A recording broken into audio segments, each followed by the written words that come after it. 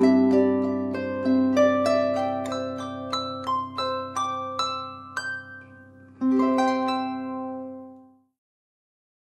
you, Molly. I'm happy to be here with all of you. Um, it is Mind Body Tools, and I was being aware that we've been sitting for almost an hour at least, so I thought we would start with at least a stretch. So uh, if you want to stand up and stretch up, reach up, take a nice breath, stretch in any way it feels good, and then release it. And stretch up one more time. Breathe in and breathe out and release it. And yeah, do it on one foot and then you can shake it out.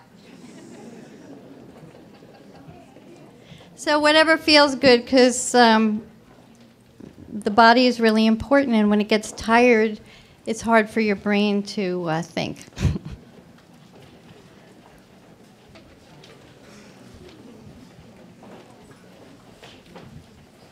Okay, so when you look at this screen, you see a bunch of funny looking things that look like um, maybe the walnut, which is really uh, scans of brains. And what's really interesting in today's technolo- technological world is that we can actually see into the brain. And why is this useful? Well, we're going to see that for thousands of years, people have doing many practices that they have found helpful, like yoga and meditation. And but what's happened is really the ability to do these brain scans and study the brains of meditators and people doing yoga or people who are depressed or doing drugs, we can see how the brain is affected so we can see what the benefits are of the things that we do, and also we can see the things that are hurtful. And this is important in the healthcare industry because we really need this scientific evidence. So I want to share with you uh, first a few things on what's been found to be helpful.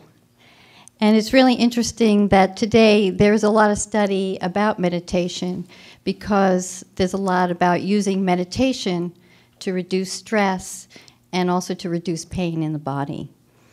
And through these studies, they found that it reduces stress, anxiety, and the experience of pain can be lessened and decreased, as well as increasing peace, peacefulness, and uh, well being. Well, it's really interesting that that through the brain scans, they actually see that it increases what's called gray matter of the brain. And in the human being, there's what we call the prefrontal cortex. So it's not going to be a whole talk about the brain, but these few, my, these few concepts are really helpful because it's, it's the part of us that is what makes us a human being. And so it's our ability to think and to reflect and to plan and to organize and to also be conscious. So it's been found that we get this increased uh, gray matter, which also improves learning and memory. It's also found that it shrinks what's called the amygdala. And this is really important because I, I think of the amygdala, I always, always remember it like because it starts with an A and it has to do with the alarm. So when we get scared or under stress, we get that response and you know it signals to like oh my god we better do something and that's the amygdala but what they found is that in meditation practice that actually the amygdala gets smaller and so the alarm bell actually gets calmed down. Because what's important here is that, that the brain does not know the difference between a real threat and a perceived threat. So we go through life, there are things to be to get alarmed about. But you know, when you just think of it, I mean, getting up to do this talk, well that's a little bit real, but how much we imagine about, oh my God, what's it really going to be like, is not necessarily a real threat. And so it sets off this anxiety kind of reaction. So meditation, they find, helps slow that down. And also, a new finding is it's really interesting that it helps to promote this very deep calm. And they found this thing called the vagus nerve. And what's really interesting about it is that it goes from the brain actually down into your gut. And so, you know, when you have that, that sense of like a gut instinct or trust your gut, it's actually like we're trusting our higher, this deeper place inside. And so meditation helps to, to kind of really learn about that. So there's meditation, but not everybody likes to sit. and so I wanted to talk about some, a couple of other things that have been found to be really uh, helpful. And um, the arts right now are being explored in terms of their usefulness in terms of health. And uh, this is a really interesting study that actually the tango has been found really effective for people with Parkinson's disease. And so it's really interesting because what happens is in doing the tango, it stimulates, actually, it releases dopamine in the brain. And what that does is the dopamine is actually like the thing that is a reward. And so it's like we want to do it over it makes you want to do something again and again and again. And of course, if you're doing dance and tango, and if you think of someone with Parkinson's, what happens is they don't have the brain message to kind of stimulate it to move. But through the music and the movement and something that gets released in the brain, it becomes much easier. And there's actually like the Mark Morris Dance Company is doing a whole thing with people with uh, Parkinson's. Yeah, so and then um, if you're, if, if the 60s are important to you, I wanted to share this, which this is Mickey Hart from the Grateful Dead. And I found this really interesting thing that he, you know, he was a drummer and he started to team up with neuroscientists because he found that when he played the drums, his grandmother, who, has, uh, who had Alzheimer's, was able to communicate a lot better. And so he became fascinated with, with what is it about rhythm and what is it about this music that kind of changes the brain and helps people.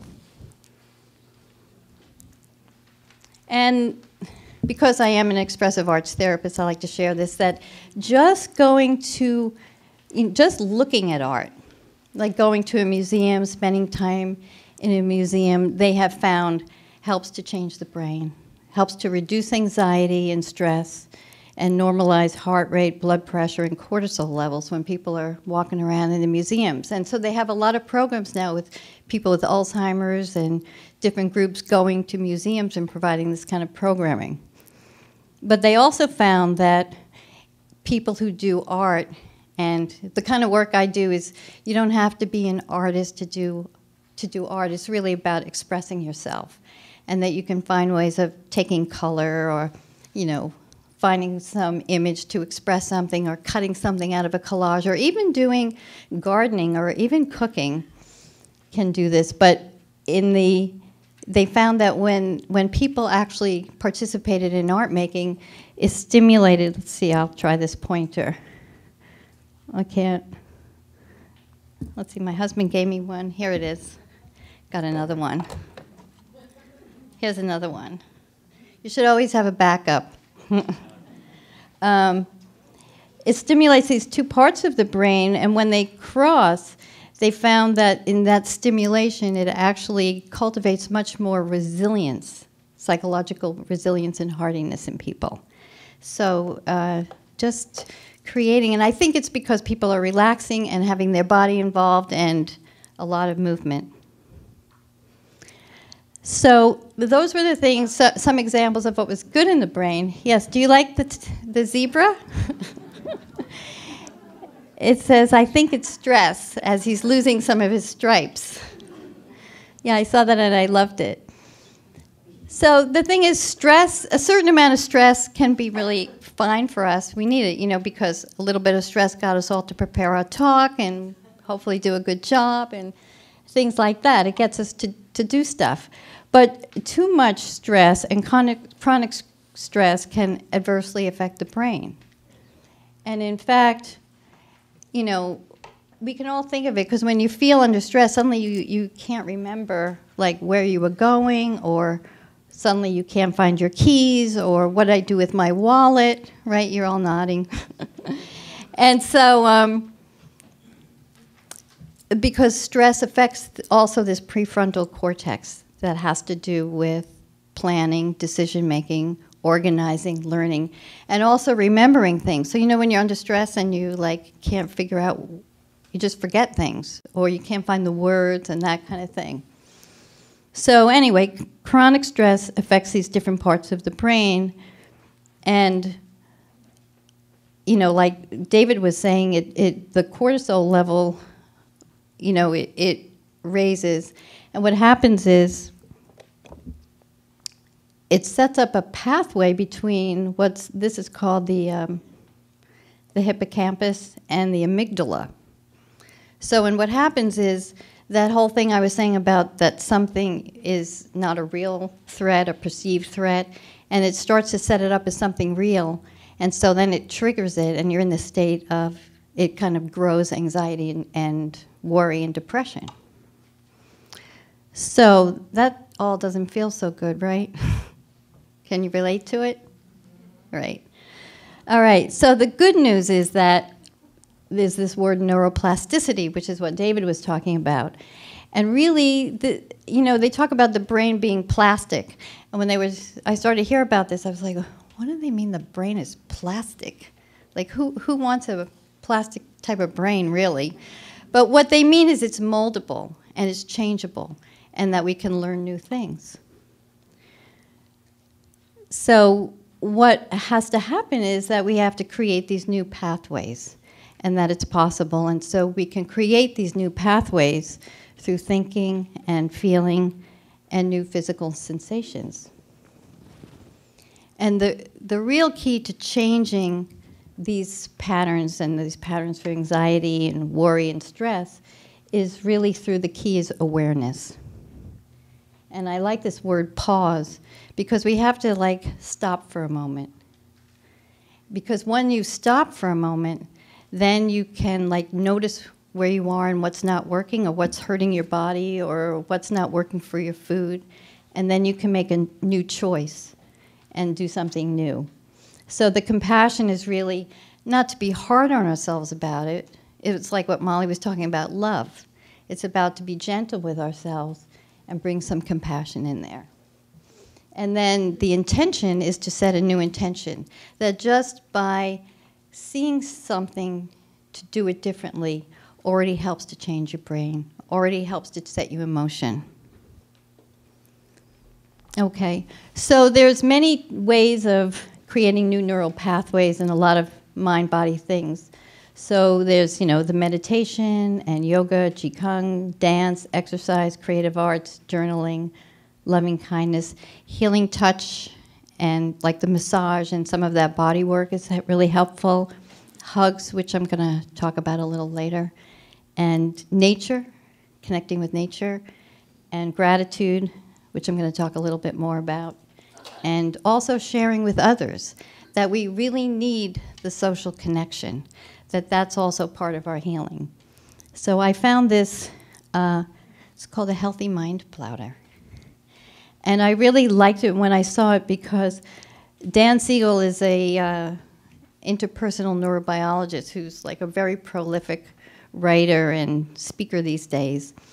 And he, he says this like, just like we need a certain amount of, of minimum daily requirements in terms of vitamins and minerals, we need a certain, these things, seven things, every day for a healthy brain and a healthy mind. So, what are they? Focus time, which is like some time to have a goal,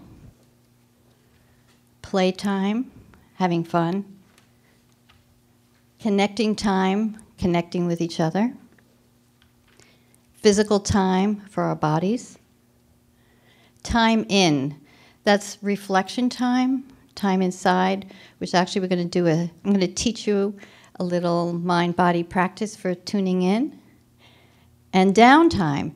They actually find downtime is necessary for our brains to restore itself and to relax and regenerate. So even spacing out is good, a little bit. If you if you fit these other six things in, and then sleep time. So all these things. So from from now you can just begin already to to take a look at those and see how you're doing in it. And tomorrow, think of how you're going to fit in some of those things that you might be missing. Okay, so are you, are you up for doing a little bit of a tune in? Yes. Okay. so I want to say a, a little bit about the mindful breathing because really today in healthcare it's a really big thing, mindfulness. And why? I'm going to tell you three things about what's important about it. One is when you breathe in and breathe out, and you bring your awareness and attention to your breath coming in your body and moving out of your body. You bring your mind, body, heart, and spirit all together in the present moment. And that also helps the whole brain, body, whole person connection. The second thing is as soon as you start to bring your attention to your breath, coming in and moving out, you start to regulate your breathing. You don't have to try to regulate your breathing, it just regulates. And then that helps to bring peace and calm inside, which reducing the stress is what helps to keep your brain healthy. Okay? It does it does a fourth thing, which is I'm going to teach this to you about breathing in and breathing out, and then breathing in peace and breathing out calm. And I'm going to say one thing that as you're doing it, you can notice any thoughts or feelings or sensations and let them pass by like the clouds in the sky. And what that does is that instead of being in something, being in the stress, being in the pain, it helps you notice it. And that's a really healing thing. Okay? So, as, as uh, Dr. Molly said, I somehow help people relax their shoulders. So, you can, you can just uh, find a comfortable way of sitting.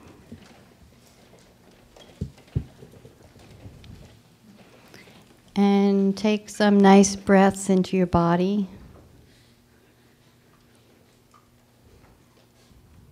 And notice your breath as it comes in your body and moves out of your body. And as you breathe, feel the support of the chair that you're sitting on, the floor beneath your feet, and the support of the earth, and your connection with the sky and the heavens above. And so breathing in, I'm aware of breathing in. And breathing out, I'm aware of breathing out. Breathing in, I'm aware of breathing in.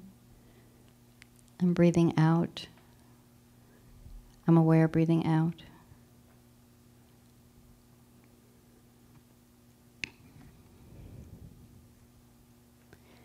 And then breathing in a sense of peace and breathing out calm. Breathing in peace and breathing out calm. And then you can simplify it to in peace, out calm. In peace outcome. And whatever thoughts are on your mind, just notice them and let them pass by like the clouds in the sky or any feelings or sensations. In peace, out calm.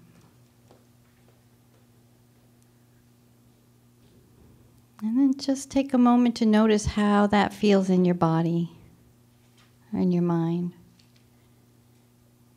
Whenever you're ready, you can just be aware of being here in the room and open your eyes when you feel ready and stretch. So that's something you could do any at any time because we have the breath with us. Our breath is always here, right here.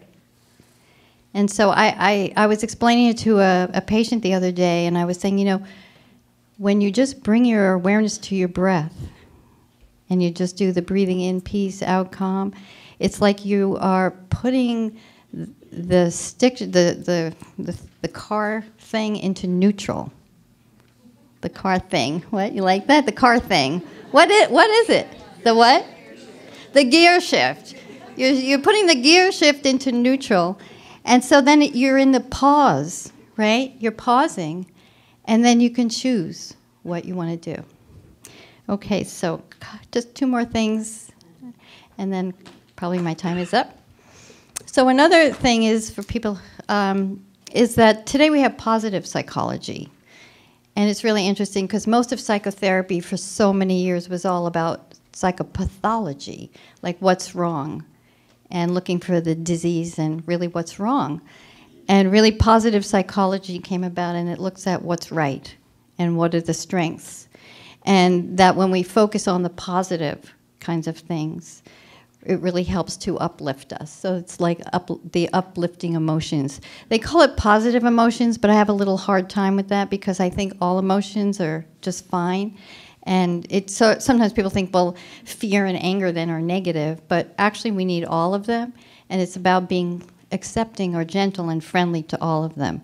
But focusing on the strengths is really helps reduce the stress and kind of uh, feed your, your brain in a good way.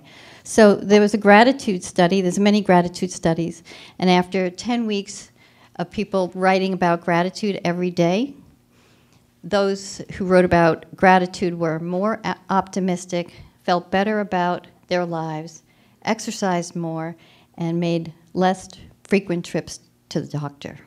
So this is also, I, I, so I do, I like to everyone I work with knows I like to give like real tools that people can do. So this is something you can do. Thanksgiving's coming up.